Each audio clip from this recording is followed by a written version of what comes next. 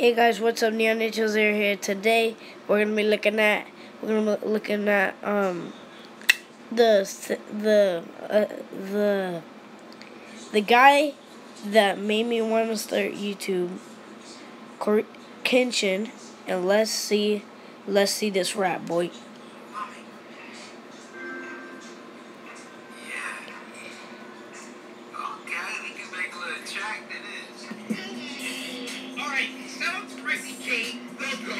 Alright, Fireplane Flow Productions, uh, uh, Sasha 6, Little Nightmares, what else do I have to say?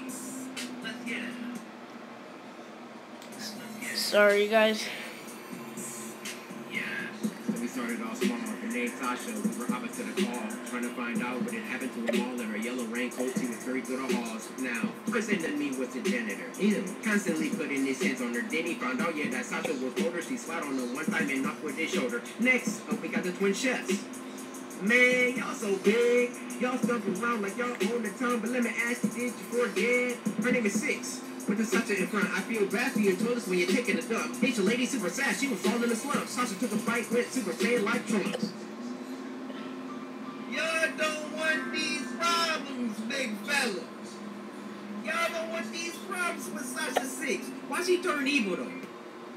Fire, right? Bruh. No. No. No.